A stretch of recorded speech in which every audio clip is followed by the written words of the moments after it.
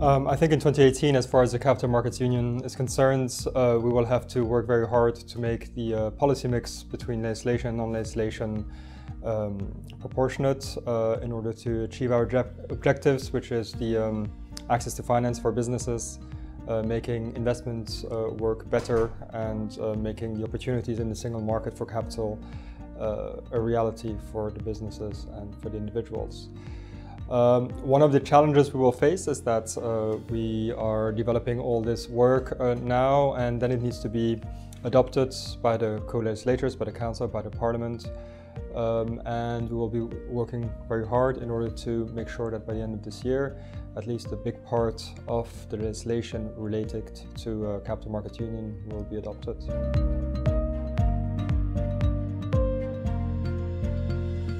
Politics um, should normally be a, a, driver for, for investment, growth and, and job creation. Um, we have, of course, many different political interests in, in the process, um, which are uh, normally quite bigger at European level. Um, I think what we're trying to achieve at the Commission is to help this political process um, and identify win-win situations. Okay, so there are some situations where it's good for member states to work together, and there's a real value added of this common action.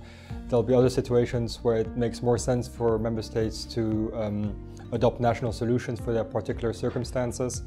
And one of the challenges for us uh, this year will be to identify where can we add value and where do member states need to uh, continue having the main uh, action.